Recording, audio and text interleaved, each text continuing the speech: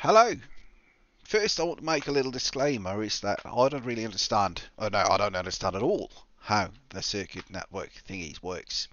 So um, I've never used it in game, but I definitely I couldn't find any way to sort these this belt that eventually will clog up here.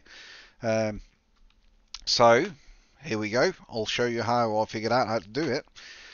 Uh, I'll start with placing down an inserter. I then take one of the wires, green or red, doesn't matter I think. I hook it up to the belt.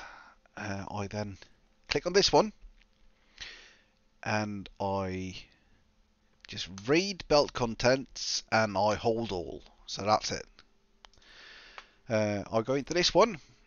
Uh, it's a filter inserter. So I'm going to use a filter. So I'm going to use a metallic chunk and over here I'm going to enable greater than metallic. And if it's greater than oh let's just do 115 then.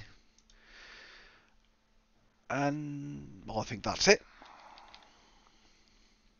Let's see. It should stop at 115 disabled. Yep. So that works. So I set that one like this. Read belt contents. Hold all belts and I? Set this one with enable you can do probably whatever you want here but I just use greater than there and put in a number and that's it. And then I just copy and I place them that way. And I do the same for ice chunks. And I do the same change that for carbon chunks. And I hook them to the same place.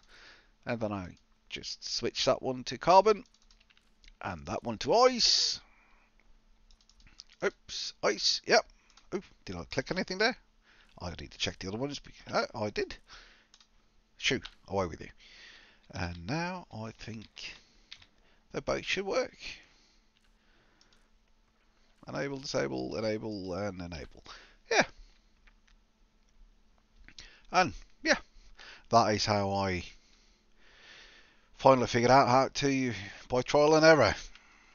And I hope it helps. So, good luck with your Space Age.